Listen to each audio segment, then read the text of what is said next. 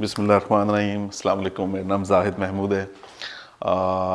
आज हम एक छोटी ऑर्गेनाइजेशन के कुछ इश्यूज़ और उनके सलूशन या उनके आ, उनकी प्लानिंग स्ट्रेटजी के ऊपर थोड़ी सी डिस्कशन करेंगे। आ, कल हम लोगों ने जो एक सर्वे कंडक्ट किया था एक ऑडिट छोटा सा किया था with about six seven interviews of different employees and and uh, of the senior management also uh, उसमें हमारे हमने कुछ इश्यूज़ uh, आइडेंटिफाई किए थे.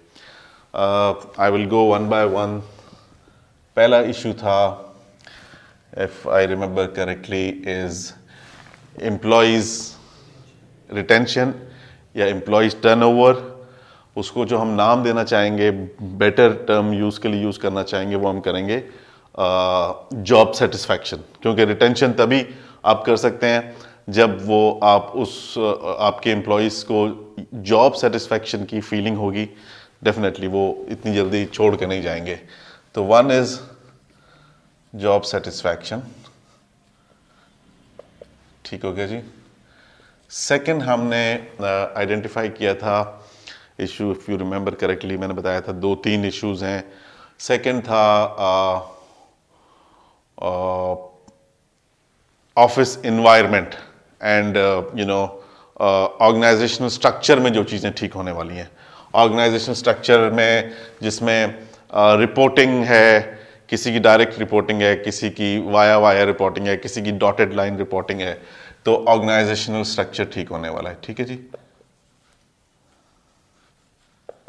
ऑर्गेनाइजेशन स्ट्रक्चर हो गया।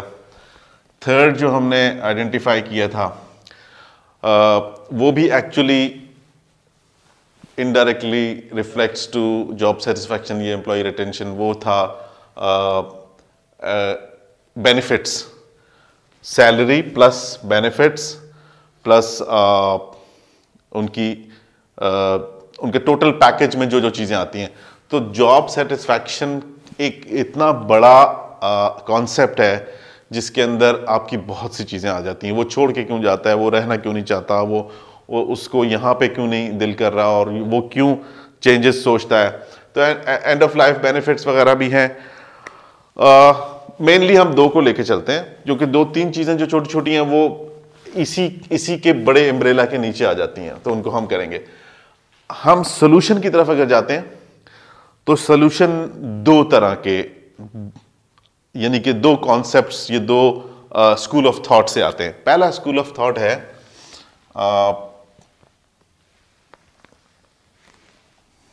प्रोफेशनली ठीक है जी? पहला है प्रोफेशनली दूसरा जो है वो है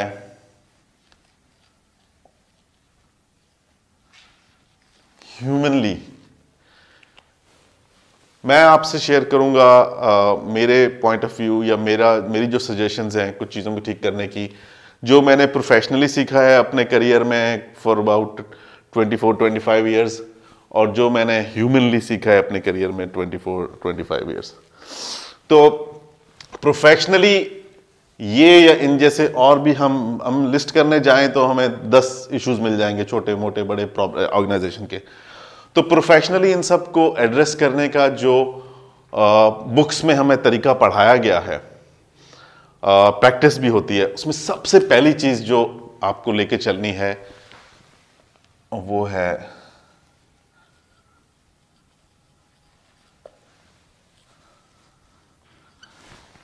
बिज़नेस प्लान आप कोई काम शुरू कर रहे हैं या आप कोई कोई पीरियड शुरू कर रहे हैं, यानी कि ये ख़त्म हो रहा है, साल आपका दिसंबर है तो आप जनवरी से 2017 को आप देखेंगे you need to sit and write a business plan business plan में आपने अपना मिशन स्टेटमेंट लिखना है अपना आ, अपनी समरी लिखनी है आपकी प्रोडक्ट क्या है और आपकी प्रोडक्ट है या सर्विस है जो जिस भी चीज़ को आप मार्केट कर रहे हैं उसको आपने देखना है कि उसका उसकी उसकी पोजीशनिंग कैसी है इस वक्त मार्केट में उसका कंपटीशन कितना है उसका कस्टमर एग्जिस्टिंग कस्टमर और जो पोटेंशियल कस्टमर्स हैं उनको सेटिस्फाई करने के लिए उनको हैप्पी करने के लिए आपने क्या क्या चीज़ें तैयार करनी है। तो फ़र्स्ट चीज़ जो आपको प्लान करनी है वो बिज़नेस प्लान है। ठीक है बिज़नेस प्लान आपको लिखना है और प्रोफेशनली लिखना है। और ये बिज़नेस प्लान उसको कहते हैं ये आपकी बाइबल होती है। आपको throughout that period that one particular year जिसका आप बिज़नेस प्लान लिखते हैं आपको उसके ऊपर चलना पड़ता है जिसमें आप अपना अपने टारगेट्स भी सेट करते हैं। आपने जो अचीव करना है नंबर uh, वाइज वो भी आप सेट करते हैं। तो उसको लिखना बड़ा ज़रूरी है। तो इसमें जो चीज़ें आ जाएँगी उसमें आ जाएगा आपका आ, आ, आपके टारगेट्स फाइनेंशियली टारगेट्स टारगेट्स आएँगे आपके रेवेन्यू प्रॉफिट रेवेन्यू प्रॉफिट आपके एचआर आपकी कॉस्ट कटिंग कॉस्ट मैनेजमेंट ये आपके बिज़नेस प्लान का पार्ट बनते हैं। तो जब आप बिज़नेस प्लान राइट कर लेते हैं, अपने मिशन स्टेटमेंट लिख लेते हैं, अपने अपने चीज़ों को, लेकिन इसको इसको लिखने के लिए डेफिनेटली आपको ये 2017 का लिखने के लिए आपको 2016 का बिज़नेस रिव्यू करना है। ठीक है? तो ये आपको करना है 2017 का। इससे पहले आपको 2016 का रिव्यू करना है। डेफिनेटली यही सारी चीज़ें आपने रिव्यू करनी है कि क्या टारगेट सेट हुआ था अचीवमेंट क्वार्टर बाय क्वार्टर क्या हुई है प्रॉफिट का टारगेट क्या सेट हुआ था, उसकी अचीवमेंट क्या हुई है एचआर के कितने लोग थे, जो कि आपके, आपकी जो रनिंग कॉस्ट है, जो आपके एक्सपेंसेस हैं, उसको आपने कंट्रोल करना है तो कितने लोग थे? अकॉर्डिंग टू द रेवेन्यू उन लोगों की क्या कंट्रीब्यूशन है? अगर फ़र्ज़ करें वन मिलियन का पर मंथ का रेवेन्यू है तो क्या जो दस लोग हैं या बीस लोग हैं, उन पे पर हेड काउंट कितना आ रहा है? उसको देखते हुए आपने 2017 का हर चीज़ का अपना टारगेट सेट कर लेना है। यह बहुत ज़रूरी है कि इसके बाद आपको ये चीज़ें को ठीक करने के तरीके आपको खुद ही नज़र आने शुरू हो जाएँगे। ठीक है? तो जब आप बिज़नेस प्लान अपना लिख लेते हैं बिज़नेस प्लान के अंदर अब अपने revenue target profit target HR management में कितने लोग हैं, कितने लोग मजीद लेने हैं तो उससे आपको अपने पूरे साल के एक्सपेंसेस का भी एक फोरकास्ट मिल जाती है कि रेंट कितना है, तनख्वाहें कितनी हैं लोगों के ट्रेनिंग एंड डेवलपमेंट पे आपने कितना खर्चा करना है और ट्रेनिंग एंड डेवलपमेंट पे और मार्केटिंग पे ये वो चीज़ें हैं जिनको आपको इस साल के रेवेन्यू से पहले ही पैसा निकाल लेना है। यहाँ के जो रेवेन्यू हुआ, उसकी एक परसेंटेज ट्रेनिंग एंड डेवलपमेंट पे जो एक एक प्रैक्टिस है वर्ल्ड वाइड आपको minimum two percent of the revenue आपको पहले ही सेट कर लेना है। ताकि जो आपका ये H R management H R development होगी, इसमें आपको तकलीफ़ ना होगी यार पैसे कहाँ से लाएँ? इनको ट्रेनिंग कहाँ से दे रहे इनको कोर्सेज कहाँ से करवाएँ? वो रख लेना है। दूसरा आपने अपने एक्सपेंसेस के लिए मार्केटिंग के लिए आपने इसमें से बजट रख लेना है। वो बजट आप साथ लेके चलेंगे तो आपको कोई मुश्किल नहीं होगी। ज़ाहिर है, इस इस साल से भी आप निकालेंगे, वो अगले साल के लिए निकालेंगे। तो इन चीज़ों को आपको कर लेना है। जब आप ये ये सब चीज़ें कर लेंगे, मैं वापस आता हूँ आपके इश्यूज़ के ऊपर। जॉब सेटिस्फैक्शन के इश्यूज़ मेनली क्या होते हैं? अक्सर लोग ये समझते हैं कि यार मार्केट रेट इस इस इस रोल का या इस इस कैटेगरी का दस हज़ार है, हम तो ग्यारह दे रहे हैं। इसको जॉब सेटिस्फेक्शन होनी चाहिए। इट आई मीन जनरली यही थिंकिंग आती है कि यार, हम तो कम नहीं दे रहे सैलरी जॉब सेटिस्फेक्शन होनी चाहिए। Job satisfaction is not only about money ठीक है? Job satisfaction is about the entire feeling his his उसकी जो करंट सिचुएशन है, उसने जहाँ ग्रो करना है कंपनी के साथ उसने ग्रो करना है कंपनी ने भी ग्रो करना है, उसने भी ग्रो करना है तो उसकी जॉब सेटिस्फैक्शन को आपको देने के लिए सबसे पहले जो आपका, जो आपको पहले चीज़ें जो ठीक करनी है स्टेप जो हमने आइडेंटिफाई की उसमें है, उसमें आपको एचआर के जो बेसिक प्रिंसिपल्स हैं, वो आपको अप्लाई कर देने हैं। बेसिक प्रिंसिपल्स वेरी क्लियर क्या है? एच के। जब आपने हायरिंग करनी है तो उसके बेसिक प्रिंसिपल्स बहुत मतलब शुरू से हमको पढ़ा दिए जाते हैं बिज़नेस की स्टडी में। पहला, क्या करना है?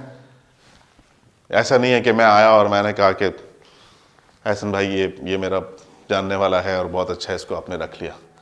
हम इन यहाँ से सारा काम गड़बड़ शुरू हो जाता है। आपने कहा ना, जाहिद भाई बहुत अच्छे हैं, हमने इतनी इतनी हेल्प की, उनका बंदा नहीं रख सकते हम। आप जब तक, आप जाहिद का रखिए, किसी का बंदा रखें। जब तक आप उसकी जेडी नहीं बनाएँगे, आपको बंदा रखने की, अपने एचआर को इजाज़त नहीं देनी चाहिए। आप बोलें कि पहले जेडी बना के ले आओ, उससे हमने काम क्या लेना है? जेडी में उसके वन टू थ्री उसकी उसकी टास्क हो गए, उसके असाइनमेंट हो गए, जो आपने उससे लेने हैं, जो काम लेना है। वो लिया, उसके बाद आपने जॉब एडवर्टाइज की, किसी भी प्लेटफॉर्म से की, उसके बाद आपने उसके इंटरव्यूज़ किए स्क्रूटनी की, बंदे को लिया। बंदे को आपने जब जब फाइनल किया तो उसके बाद मेन काम एचआर डेवलपमेंट का शुरू हो जाता है। कि उस बंदे को आपने उसके प्रीवियसली प्रीवियस एक्सपीरियंस पे प्रीवियस एजुकेशन पे, इस पर्टिकुलर जॉब के लिए लिया। अब आपका काम H R as an H R manager आपका काम शुरू होता है कि उसकी, उसके उसके ग्रोथ पाथ क्या होगा। वो आज एक सेल्स एग्जेक्टिव आ रहा है, वो सेल्स सुपरवाइजर कब बनेगा, वो सेल्स मैनेजर कब बनेगा, उसकी आपने केपीआई सेट कर देनी है। जब आप केपीआई सेट कर देंगे जॉब डिस्क्रिप्शन के बाद इंटरव्यू फाइनल रिक्रूटमेंट उसकी, उसका ग्रोथ प्लान उसके केपीआईज तो फिर आपकी मॉनिटरिंग इजी हो जाएगी। क्योंकि वो केपीआईज को आप फिर रेगुलरली उनका अप्रेजल करेंगे आप। हर तीन महीने बाद, छह महीने बाद, साल के बाद बैठेंगे कि आपको ये के पी दी थी, आपके ये टारगेट था, आपने 80 परसेंट अचीव किया, आपने 60 परसेंट अचीव किया, आपने 100 परसेंट किया।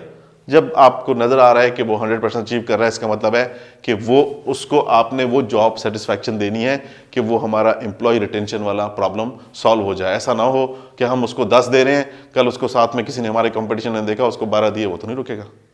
तो आपको उसको एक कंप्लीट सिर्फ़ सैलरी नहीं, एक कंप्लीट जॉब सेटिस्फैक्शन देने के लिए आपको उसको सैलरी अच्छा माहौल ग्रो करने का माहौल ग्रो करने की अपॉर्चुनिटी मैनेजमेंट के साथ यू नो डायरेक्ट कम्युनिकेशन कि वो वाया वाया ना आए एचआर मैनेजर के पास जाए और एचआर मैनेजर से अगर कोई इश्यूज़ हैं तो वो उनसे डिस्कस करे। वेरी क्लियर अगर आप उसको ग्रोथ प्लान दे देंगे तो वो किसी भी जगह पे वो लड़खड़ाएगा नहीं। लेकिन अगर उसको ग्रोथ प्लान ही नहीं पता होगा, एक नए हायर होने वाले को तो वो कि मैं छह महीने के बाद जब मैं ये ये के पूरे कर लूँगा तो मैं कहाँ पहुंचूँगा? जब उसको ये नहीं पता होगा तो वो फिर जो इधर से उधर से आने वाली चीज़ें ना कि यार वहाँ ज़्यादा मिल रही है, वहाँ चलते हैं, वहाँ अप्लाई करते हैं, वो करेगा। लेकिन जब आप उसको के और के के साथ इंसेंटिव बहुत ज़रूरी है। इंसेंटिव स्कीम आप उसको सेट कर दें। जब वो इंसेंटिव अपने अचीव करेगा केपीआई के साथ तो वो उसको एज अ जॉब नहीं लेगा, बल्कि as his own business consider करेगा। और उसके साथ जो फिगर्स हैं, ये आपके रेवेन्यू के प्रॉफिट के फिगर्स हैं, ये मेरे ओपिनियन के मुताबिक each and every person of the of your company should have a very clear visibility on it उसके अपने भी और कंपनी के भी। दो टारगेट हैं, एक उसका पर्सनल टारगेट है, एक कंपनी का टारगेट है। वो दोनों टारगेट्स और दोनों ग्रोथ सिंक होनी चाहिए, आपस में मैच होनी चाहिए। उसको पता होना चाहिए कि कंपनी अगर 100 परसेंट अचीव करना चाहती है और उसमें मेरा 20 परसेंट का मेरा कंट्रीब्यूशन है तो क्या मैं वो अचीव कर रहा हूँ? जब वो अचीव कर रहा है तो उसको आपने इंसेंटिव स्कीम पे रखना है कि ये तुम्हारी ये तुम्हारी सेट सैलरी है।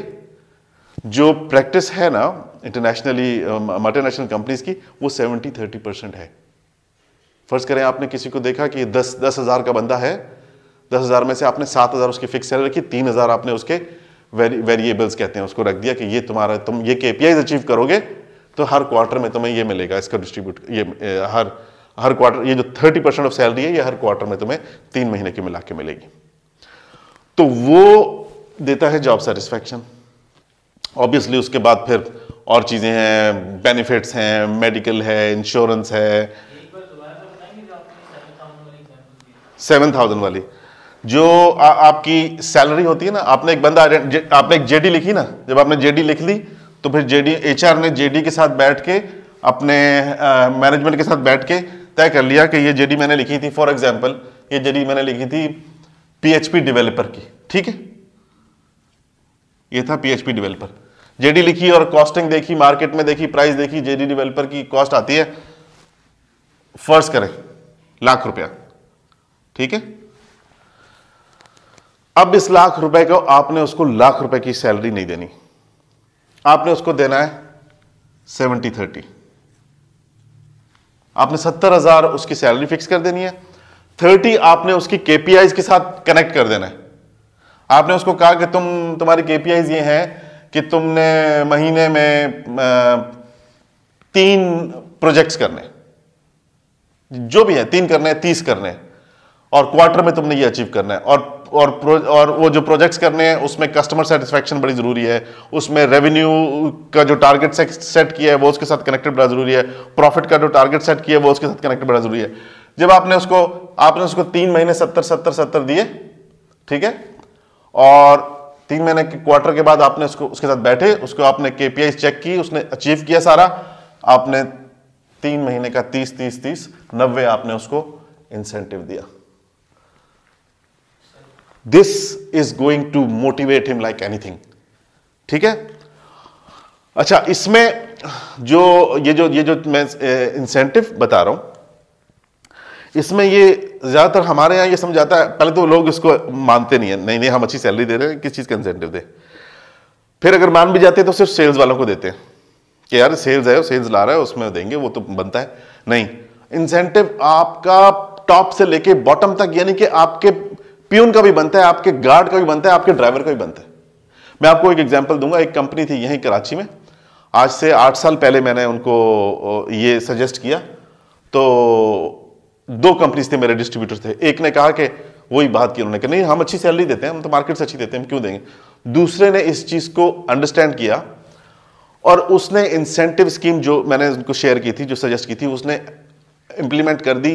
टॉप से लेके बॉटम तक। बॉटम तक का मतलब उसने जो गार्ड था, जो चौकीदार था, जो ड्राइवर था, उसको भी उसने कर दिया। उसका उसका उसका रिज़ल्ट क्या हुआ?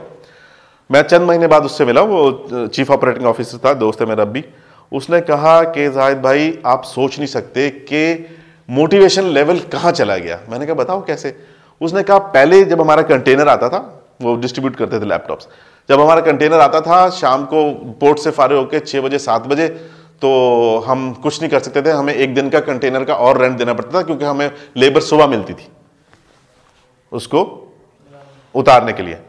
कहता है, अब मुझे कहीं नहीं जाना पड़ता, मेरे अपने जो ये लोअर स्टाफ है, ये वेट कर रहे होते हैं क्यों कब कंटेनर आएगा, कब हम इनको उतारेंगे और ये स्टॉक में आएँगे और स्टॉक में इनको सिस्टम में लिया जाएगा और कल ये बेचना शुरू होंगे। क्यों? कि उनको पता है कि जब वो टक टक टक इन्वाइसिंग कटेगी तो उसमें उनका भी शेयर थोड़ा थोड़ा बनता जाएगा।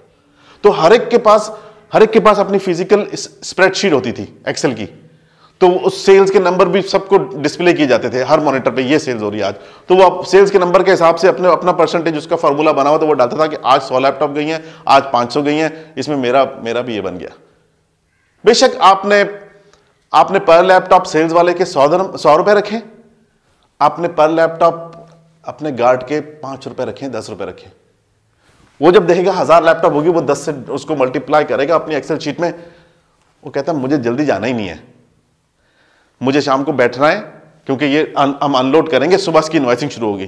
पहले नीचे वाले स्टाफ को फ़िक्र नहीं थी इन्वाइसिंग की, क्योंकि उनके सैलरी उनको मिला हमारी सैलरी पक्की मिलनी मिलनी है। तो वो वो कहते थे कि, यार, आज नहीं उतर रहा था, नहीं उतरे, कल उतरेगा हमें तो अपनी सैलरी मिलनी है। मगर अब उनको पता लग गया, उनका जो थर्टी परसेंट है, वो इंसेंटिव पे है। तो उन्होंने खुद हेल्प करनी है कि मजदूरी बुलाओ, हम भी बोलते ताकि जल्दी उतरे, जल्दी इन्वाइसिंग शुरू हो और जल्दी हमारा भी मीटर चलना शुरू हो। यू गेटिंग माई पॉइंट तो incentivise very important it's not that you know managers and top managers are getting the bonus and incentive and lower staff is not getting this is this is this is not a practice world wide sales वाली companies आप sales company है you have a product to sell service product whatever all everybody should be a sales person either he is directly selling or is helping you to sell what a guard is doing what a chowkidar is doing what a driver is doing he's helping you to sell because he's helping you to be more productive so this is my point. It reflects here directly. Job satisfaction. Hope it clears your question ठीक है। अच्छा आपने JD set कर दी, आपने उसकी KPIs बना दी, आपने जब उसको इन्वॉल्व कर लिया, आपने उसको पार्ट ऑफ़ बिज़नेस बना लिया अपना। आपने उसको एक्चुअली आपने उसको बिज़नेस पार्टनर बना लिया ना। विदाउट एनी इन्वेस्टमेंट वो बिज़नेस पार्टनर बन गया। वो आपके रेवेन्यू और प्रॉफिट टारगेट में जान मारेगा। क्योंकि उसको रिज़ल्ट नज़र आ रहा है एंड ऑफ़ द डे आपने उसको अपने जेब से कुछ नहीं देना। आपने उसको टोटल रेवेन्यू से या प्रॉफिटेबिलिटी से देना है जो भी आपने उसके लिए स्कीम सेट करनी है जो भी कैलकुलेशन करनी है वो करके आपने कम्युनिकेट कर देना है। आओ बेटा आओ चाचा ये है। जितना करोगे उतना मिलेगा। ठीक है ना?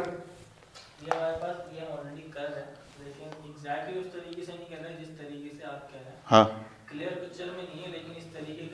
वेरी गुड उसको थोड़ा सा बेहतर कर लें।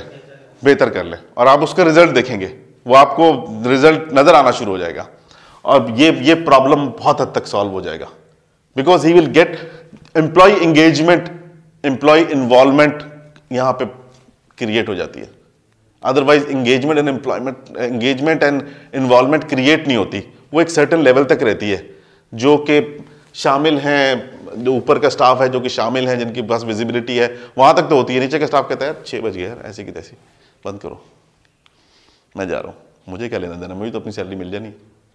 सैलरी उसको मिलनी है बट उसका जो आपने, ये जो आपने वेरिएबल रख दिया, ये उसको पता है कि मुझे नहीं मिलना। जब तक मैंने कंट्रीब्यूट नहीं करना। तो contribution based incentive scheme implement करें। ठीक है ना? कि जिसमें उसका कंट्रीब्यूशन शामिल हो, वो इंप्लीमेंट हो। आपको नज़र भी आएगा, उसको भी नज़र आएगा।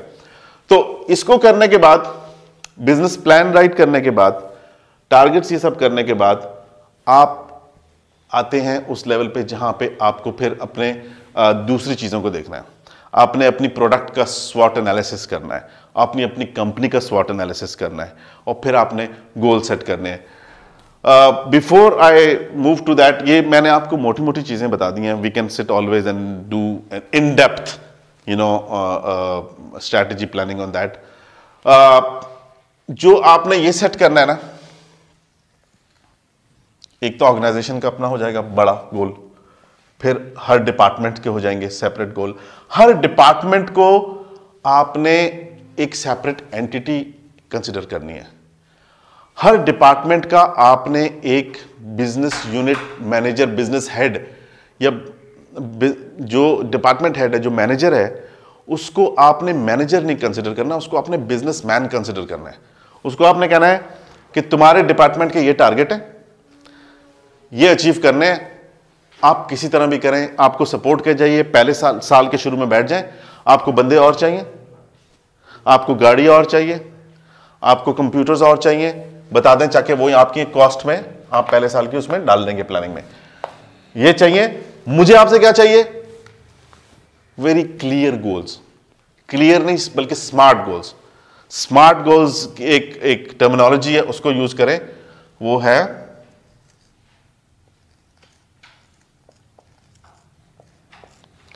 गोल सेट करते वक्त अपने भी, अपने एम्प्लॉयज़ के भी, अपने कंपनी के भी ये टर्मिनोलॉजी आप यूज़ करें। ये है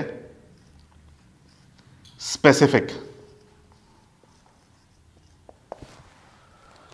एस से स्पेसिफिक गोल स्पेसिफिक होने चाहिए। पीएच डेवलपमेंट टीम के वेरी स्पेसिफिक गोल होने चाहिए। Developing team development team software development team के गोल्स मुझे नहीं आइडिया आपको आप इस फ़ील्ड में काम करते हैं। उनसे कितनी आपने डेवलपमेंट करानी है, कितने आपने ऐप्स बनवाने हैं, कितने आपने सॉफ्टवेयर बनवाने हैं, कितनी वेबसाइट्स बनवानी है। वो स्पेसिफिक नंबर्स होने चाहिए। केपीआईज में। KPIs is key performance indicator कि उसमें स्पेसिफिक होने चाहिए। वेग नहीं होना चाहिए। उसमें कोई कंफ्यूजन नहीं होनी चाहिए। कल को वो बोलेगा, आपने तो ये बोला नहीं मुझे। ये कहाँ लिख के दिया कि इतने करना था मैंने?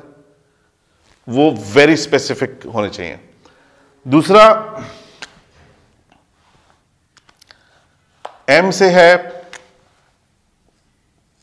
मेजरेबल ठीक है? मेजरेबल यानी कि आपने सेल्स वाले को अगर आपने नंबर दिए हैं तो आपने ये नहीं कहना मुझे तुमसे बहुत सेल्स चाहिए। जितनी सेल्स करोगे उतना पैसे दूँगा। नहीं, उसको आपने एक सेट मेजरेबल टारगेट देना है कि मुझे तुमसे पचास हज़ार की सेल हर क्वार्टर में चाहिए। मुझे तुमसे पाँच नए कस्टमर हर क्वार्टर में चाहिए।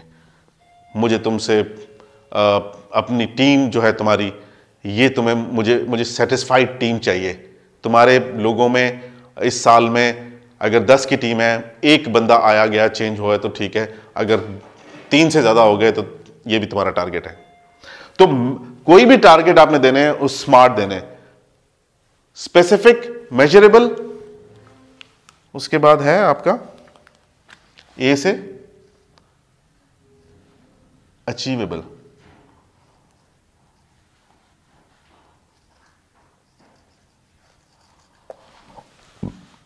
achievable again unrealistic target गैर, आप किसी को अनरियलिस्टिक दे देंगे, यार, मुझे तुमसे ना दस लाख की सेल चाहिए क्वार्टर में तो उसको तो भगाने वाली बात होगी ना। कंपेयर करके मार्केट देख के प्रोडक्ट देख के कस्टमर देख के हिस्ट्री देख के पिछली आपने उसको specific measurable and achievable goal देने टारगेट देना। है ठीक है? देन आता है relevant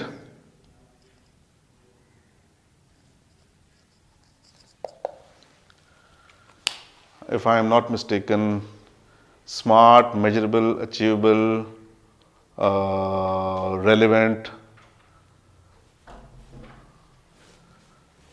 उसी के उसी के डोमेन के रेलिवेंट उसी की फ़ील्ड के रेलिवेंट वो जो नंबर्स हैं वो चीज़ें ज़ाहिर है आप एक पीएचपी डेवलपर को ये नहीं कह सकते कि तुम्हें इतने कस्टमर लाने हैं। Customer satisfaction part of his product part of his service part of his productivity है। बट डायरेक्टली कस्टमर लाना इसका काम नहीं है। कस्टमर सेल्स वाले लाएँगे उसके बाद इसको देंगे कि इसका तुमने ये काम करना है। तो वो उसकी डोमेन से उसकी फ़ील्ड से uh, उसके उसकी के रेलिवेंट होने चाहिए। Finally T for time bound आपने उसको टाइम बाउंड दे देना है। ये ये ये बाउंड करना है कि ये नहीं देने कि ये सारे गोल्स दे के उसको कहना ये तुम अचीव करो। अच्छा छह महीने में नहीं हुआ, चलो साल में कर लो। नहीं। You have to be very very very strict I would say specific and very very visible monitor his his performance time to time month में क्या किया, क्वार्टर में क्या किया, साल में क्या किया, और उसी तरह उसके आपने वो लिख के उसको टारगेट्स उसकी के में शामिल कर देने कि ये तुमने यहाँ तक अचीव करना है, यहाँ तक अचीव करना है, ये उसको दे देने इनके देने के बाद जब उसके आपने जेडी लिख ली इंटरव्यू हो गया रिक्रूटमेंट हो गई गोल सेट हो गए के सेट हो गई, आपने उसको उसको डेवलपमेंट प्लान दे देना है।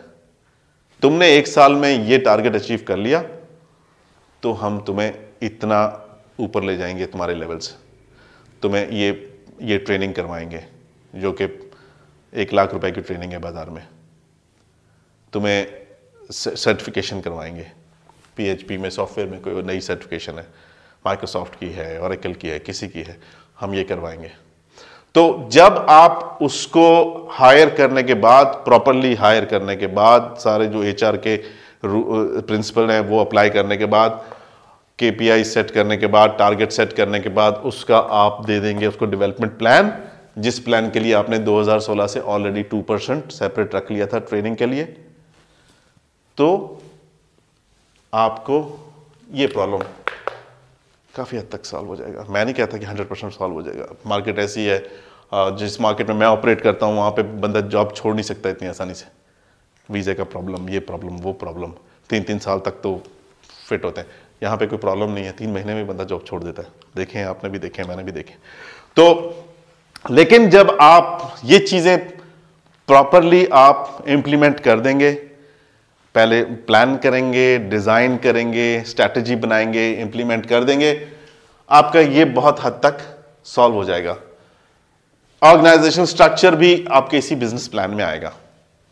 बिज़नेस प्लान है, कितने डिपार्टमेंट हैं? ऊपर एमडी है जो जो एक ट्री बनता है वो क्या बनता है?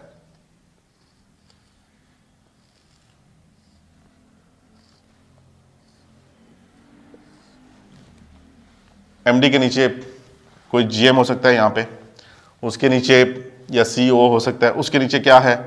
आपका एक सेल्स है आपका एक एचआर है आप हाँ? Lock lock what is NOC हाँ आपका वो आईटी है, ठीक है? एक आपका आईटी है, एक आपका एचआर है, एक आपका ऑपरेशंस है। एचआर में आपका एडमिन भी आ गया, आप लेना चाहें तो लॉजिस्टिक आ सकता है। उसके नीचे फिर तीन तीन, चार चार बंदे हैं, ठीक है? टीम है हर एक की। उनके रोल क्लियरली डिफाइंड हैं।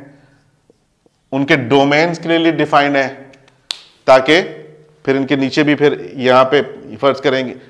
ऑर्गेनाइजेशन ग्रो होती है, हर डिपार्टमेंट का एक जीएम होता है। उस जीएम के नीचे एक मैनेजर होता है, उसके नीचे तीन चार बंदे होते हैं। इस ऑर्गेनाइजेशन स्ट्रक्चर फिर एक अलग पूरा सब्जेक्ट है, जिसके ऊपर हम दिल लगा सकते हैं। ऑर्गेनाइजेशन स्ट्रक्चर आपको वेरी क्लियरली कम्युनिकेट करना है। मतलब जो बंदे आ रहे हैं, उनको पता होगा कि मैंने किस काम के लिए किसके पास जाना है। मेरी रिपोर्टिंग किसको है? मेरी डायरेक्ट रिपोर्टिंग किसको है? मेरी मेरी डॉटेड लाइन रिपोर्टिंग किसको है? मुझे किसके पास सैलरी इंक्रीमेंट के लिए जाना है? मुझे किसके पास पर्सनल प्रॉब्लम के लिए जाना है? मुझे किसके पास कस्टमर प्रॉब्लम के लिए जाना है? मुझे सॉफ्टवेयर आईटी के प्रॉब्लम के लिए किसके पास जाना है? उसको एक क्लियर हो ताकि हर बंदा हर काम ना कर रहा हो। ठीक है जी? तो जॉब सेटिस्फैक्शन के लिए मैंने आपको कुछ चीज़ें यहाँ बता दी क्लियरली ऑर्गेनाइजेशन स्ट्रक्चर के लिए मैंने आपको बता दिया कि ऑर्गेनाइजेशन स्ट्रक्चर के लिए आपको डिफरेंट टूल्स मिल जाएँगे। वो आप किसी भी टूल को यूज़ करके ऑर्गेनाइजेशन स्ट्रक्चर एक अपना बना सकते हैं इम्प्लीमेंट कर सकते हैं और क्लियरली कम्युनिकेट कर सकते हैं। वो कम्युनिकेट करने में ये होता है कि फॉर एग्ज़ाम्पल ये एच ये एचआर डिपार्टमेंट है, इसमें एक एच आर है, एक एच आर मैनेजर है, एक एच आर असिस्टेंट है, एक एडमिनिस्ट्रेशन असिस्टेंट है। तो यहाँ आपने एक बंदा लिया, उसकी जेडी बनाई उसकी सैलरी बनाई, उसके इंसेंटिव बनाया। अब आप जब उसको अपना डेवलपमेंट प्लान देंगे तो आप उसको बताएँगे कि you can always perform and step to next level from here you can plan and step to next level तो उसको एक, जब आप ये मंथली मीटिंग के अंदर एच अपने ऑर्गेनाइजेशन स्ट्रक्चर को शेयर करेंगे और फ़र्ज़ करेंगे कोई भी यहाँ से जाता है मैनेजर तो उसको नीचे वाले को नज़र आ रहा है कि मेरे लिए अपॉर्चुनिटी बनती है। आगे ग्रो करने की। तो जब उसको विजिबिलिटी होती है ना अपनी ग्रो करने की तो ये बहुत हद तक उसको जो बाहर से आ रहे होते हैं ना, यहाँ से यहाँ से, उन पर कान नहीं धरता। उसको अपनी salary plus benefits plus incentive मिल रहा होता है। वो उसकी इंगेजमेंट इस हद तक होती है कि आप हर मंथ अपने नंबर शेयर करते हैं, अपने बुला के टीम को बिठा के। हर month end of the month बिठाया टीम को हर डिपार्टमेंट की प्रोग्रेस दिखा दी। ज़ाहिर है आप आईटी कंपनी है, कोई ना कोई सिस्टम आपका ईआरपी या कोई सीआरएम चल रहा होगा, उससे नंबर लिए, नंबर खोले, नंबर शेयर कर लिए। यहाँ हम आ जाए हमने तीन महीने में यहाँ पहुँचना है। तो जो इंगेजमेंट है ना, वो बहुत ज़रूरी है।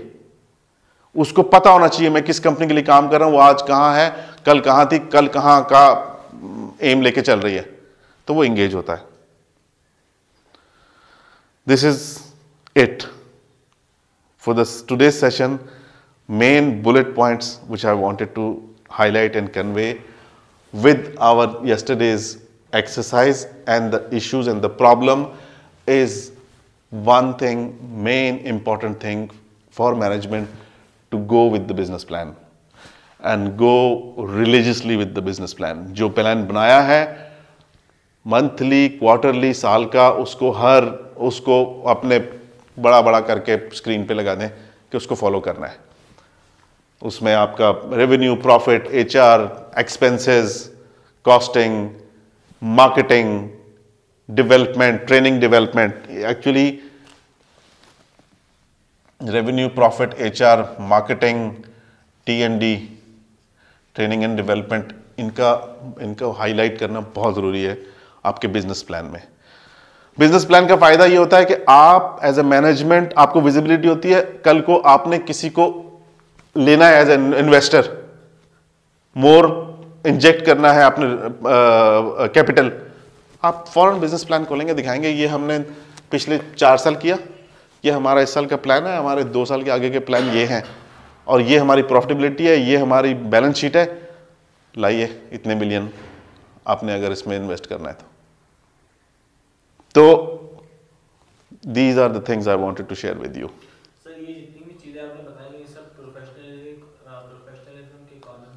हाँ ह्यूमनली मैंने इसीलिए वो छोड़ दिया था खाली कि ह्यूमनली बताने के लिए ये और और इसके अंदर अगर हम इन डेप्थ जाएँ तो मैं ऐसे मतलब है दस बोर्ड भरे जा सकते हैं। डीप जाएँगे हर चीज़ के एचआर के प्रॉफिटेबिलिटी कैसे मैनेज करनी है प्रोडक्ट पोजिशनिंग कैसे करनी है रेवेन्यू की मैनेजमेंट क्या है फिगर्स कैसे हैं? आपका बाय द वे यहाँ पे आपका जो एक अ, हम भूल गए डिपार्टमेंट बड़ा इंपॉर्टेंट है। अकाउंट्स ठीक है? ये सब कैसे करना है तो ये भरते भर जाएँगे। लेकिन अगर आप आ, आ रहे हैं ह्यूमनली कि मैंने अपने 20 24 ईयर से इस सारे का ह्यूमनली क्या रिज़ल्ट निकाला है तो वो एक सेंटेंस है। वो कहता है after all after all of the education and experience and you know practical and theory and everything after all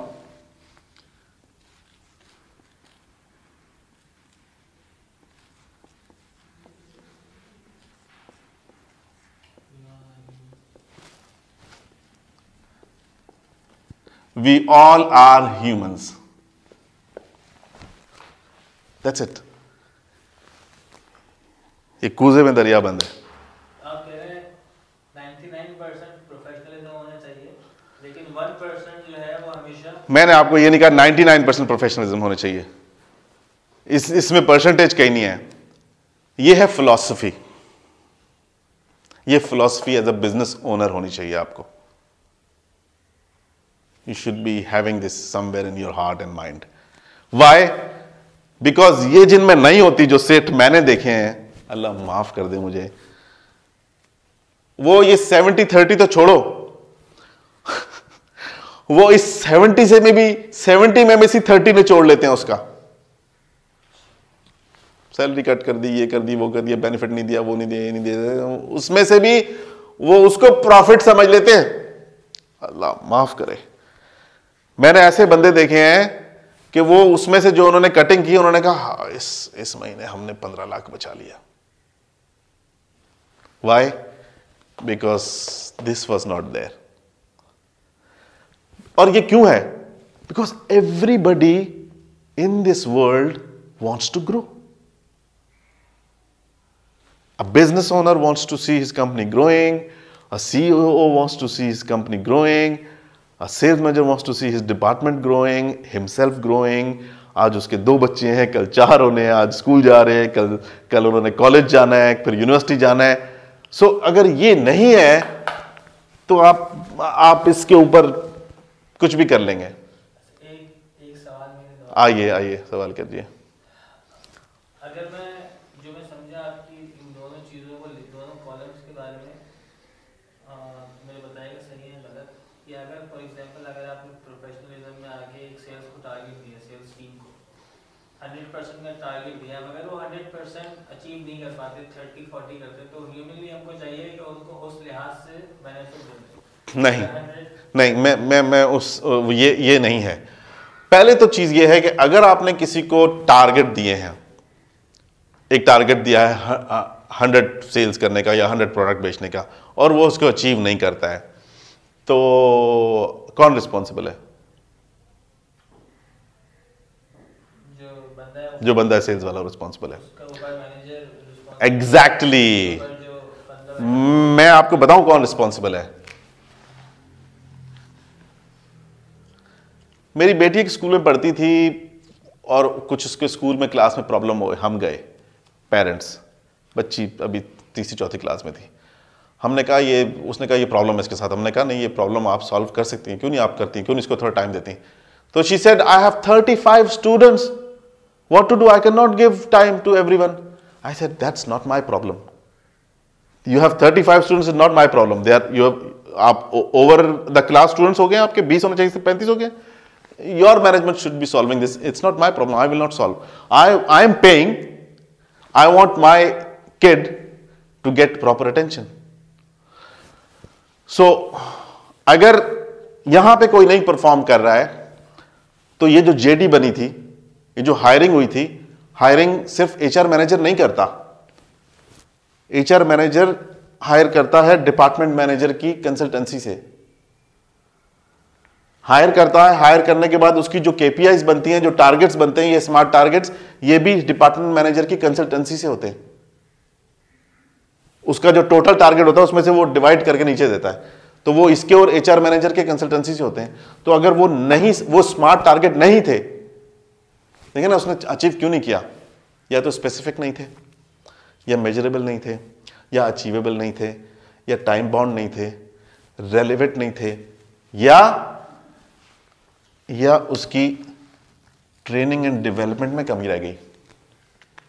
बंदा तो आपने ठीक लिया ना जेडी जेडी फाइनलाइज करके इंटरव्यू लेके दो तीन इंटरव्यू करे बंदा आपने ठीक लिया। अब वो बंदे ने परफॉर्म क्यों नहीं किया? नॉट नेसेसरी के बंदे का प्रॉब्लम है। उसका भी हो सकता है। बट ऑन द होल ये कंपनी की रिस्पॉन्सिबिलिटी है कि स्मार्ट गोल दे और स्मार्ट गोल्स को मॉनिटर करे। उसकी प्रोग्रेस को मॉनिटर करे। एक महीना नहीं कर रहा, क्यों नहीं कर रहा? आओ बैठो, क्या प्रॉब्लम है? तुम्हें सपोर्ट चाहिए, तुम्हें तुम्हारी ट्रेनिंग चाहिए तुम्हारी, तुम्हारा हाथ ठीक नहीं है सॉफ्टवेयर पे। Let's do a very quickly उसको आपने टी एन डी में ले जाना है। निकाल के, ये ये तो ट्रेनिंग ले लो, तुम you are not going to achieve your targets so as a head of operation as as a head of the company you must help your people to achieve targets because if they will achieve target आपका बड़ा target भी achieve होगा ना। आप भी ऊपर उठेंगे, आपकी भी ओनर बोलेंगे, क्या बात है? ये बंदा अच्छा है, इसकी टीम परफॉर्म कर रही है अचीव कर रही है। तो you need to not only identify the problem but you need to also think of a solution for that person क्या है? जैसा आपने कहा कि जब अगर किसी को अचीव नहीं कर पाता टारगेट तो बहुत सारे रीजन हो सकते हैं। बहुत सारे तो उन उन रीजंस की बेसिस के ऊपर और अगर हमारा ह्यूमनली बीच में इन्वॉल्व हो जाए तो उसको आपकी साइड में अगर उसने टारगेट फॉर एग्जांपल 100 परसेंट की जगह 10 परसेंट थर्टी परसेंट अचीव किया तो उसकी परफॉर्मेंस के ऊपर उसको मिलना चाहिए या नहीं मिलना चाहिए? नहीं परफॉर्मेंस तो उसकी हो ही कोई नहीं ना। अगर उसने 100 परसेंट से 20 परसेंट अचीव किया तो कोई परफॉर्मेंस नहीं हुई ना, उसका ये 30 परसेंट नहीं मिलेगा। But you on the top need to make sure that the targets were smart it was an achievable targets based on his JD his competency his experience his education his know how and आगे जो आपने अपनी as a company की जो policy की हुई है, आपके कस्टमर्स हैं, आपके पास अपॉर्चुनिटी है, वहाँ पे आपको मिल रहा है इनवाइस करने के लिए कुछ बंदा या नहीं मिल रहा? उसके कुछ भी रीजन हो सकते हैं ना अचीव ना करने के। इसके अलावा जो जो आपके कंट्रोल में नहीं है, उसके कंट्रोल में नहीं है वो regional issues and geographical issues you know कोई आपका बंदा लाहौर मार्केट का या इस्लामाबाद मार्केट का है हम्म, यू नो बारिशें हो रही हैं, सैलाब आ रहे हैं, कोई और कुदरती आफत आ गई, कोई मुल्क के हालात इकानमी ख़राब हो गई, कोई टैक्सेशन के प्रॉब्लम ये, वो तो वो चीज़ें हैं जिन, जिनका सब पे असर पड़ना है। लेकिन अगर individual is not performing the rest of the company's performing rest of the department performing then there a problem with that person initial hiring plan development plan growth plan understanding और यहाँ पे। अगर कोई परफॉर्म नहीं करता तो क्योंकि उसके रीजन बहुत सारे हो सकते हैं ना परफॉर्मेंस देने के तो उसको कितने टाइम तक चांस देना चाहिए? फॉर एग्जांपल अगर हमने उसको छह महीने का एक टारगेट दिया और हम हर वीकली या महीने के बेसिस के ऊपर उसको वापस से रीचेक कर रहे हैं क्या क्या देखें। कितना टाइम देना चाहिए ये डिपेंड करता है। ये आपको मैनेजमेंट ने बैठ के देखना है कि उसके पास गुंजाइश कितनी है। इंटरनेशनली मल्टीनेशनल कंपनीज़ दो क्वार्टर नहीं देते। पहले क्वार्टर में वो वार्निंग दे देते हैं। दूसरे क्वार्टर में थैंक यू करते हैं। तो छह महीने समझ लें बिकॉज़ आप इन्वेस्ट कर रहे हैं ना, आप उस पर आपकी वो इन्वेस्टमेंट है तो आप क्यों ऐसी जगह पे इन्वेस्ट करेंगे जो कि आपको आगे से उसका रिज़ल्ट नहीं नज़र आ रहा? Getting my point that's about it so so आप आंसर ये है कि मैक्सिमम सिक्स मंथ्स एक लास्ट कोई क्वेश्चन आने दें फेंके अगर ह्यूमनली ज़्यादा इन्वॉल्वमेंट हो तो उसको काम कैसे किया जाए? सी ह्यूमनली इन्वॉल्वमेंट आपका कहने का मतलब मैं समझ रहा हूँ। इसको भी ये भी एक सब्जेक्ट है। इसको कहते हैं इन्वॉल्वमेंट ऑफ़ इमोशंस इमोशनली हम एक इमोशन इमोशनल चार्ज कॉम है। और हम इमोशनली इन्वॉल्व होते हैं। अब ये टॉप मैनेजमेंट को इसके ऊपर लीडरशिप कोर्सेज करने। लीडरशिप कोर्सेज आपको सिखाती है कि आपने बैलेंस कैसे रखना है। आपने रोज आके उससे गले मिलना है, रोज उसके साथ लंच करना है, रोज उसको आपने बिल्कुल एक को अपने करीब कर लेना है, दूसरे को दूर कर लेना है, वो करना नहीं। आपने बैलेंस रखना है सबके अंदर। ह्यूमन ह्यूमन फैक्टर को भी आपने बैलेंस रखना है प्रोफेशनल फैक्टर को भी आपने बैलेंस रखना है। तो ये इसमें आपका बैलेंस रखने के लिए there is there is I mean it people people learn this in 20 25 years. And obviously honestly मैं जब मेरे मेरा भी जब बिगिनिंग ऑफ़ करियर था मुझे भी कुछ नहीं पता था। मैं भी शायद इसी तरह रिएक्ट uh, करता था फॉरन या हैंडल नहीं कर पाता था। तो it comes with the time and it comes with the learning आपकी अपनी लर्निंग कितनी हुई? आपने अपने कितने जगह पे धक्के खाए हैं? फॉर एग्ज़ाम्पल एक एक कंपनी है वहाँ पे काम हो रहा है वहाँ पे मेरा एक, एक सेशन था वहाँ पे ये इश्यू पता लगे। तो मैनेजमेंट पता लगा कि फैमिली मैनेजमेंट है सारी। फादर है सन है बेटी भी काम कर रही है वाइफ भी काम कर रही है। अब फादर तो he came through all the learning धक्के खा के आए हैं। मगर वो बेटी ने कहीं जॉब नहीं की। वाइफ ने कहीं जॉब नहीं की उनकी वो पहला as a as a head of the department उनका पहला एक्सपीरियंस है। उनका ये फैक्ट्री नहीं क्रिएट हो रहा। उनको पता ही नहीं है कि किसी को धक्के खाने पड़ते हैं जॉब के तो फिर क्या होता है? जॉब किसी की ख़त्म होती है तो उसको क्या फीलिंग होती है? जॉब ख़त्म होने का डर होता है तो क्या फीलिंग होती है? उनको development H R development and training तो ये अभी आपका जो क्वेश्चन है, बहुत ज़बरदस्त है, लेकिन इसका आंसर जो है, वो एक सेशन में नहीं है। ह्यूमन फैक्टर और प्रोफेशनल फैक्टर को बैलेंस रखना एक टॉप लीडर का काम है वो लीडरशिप क्वालिटी है। उस पर दो तीन घंटे भी हम बात कर सकते हैं। ठीक है? चल we end the session thank you very much for listening thank you very much you all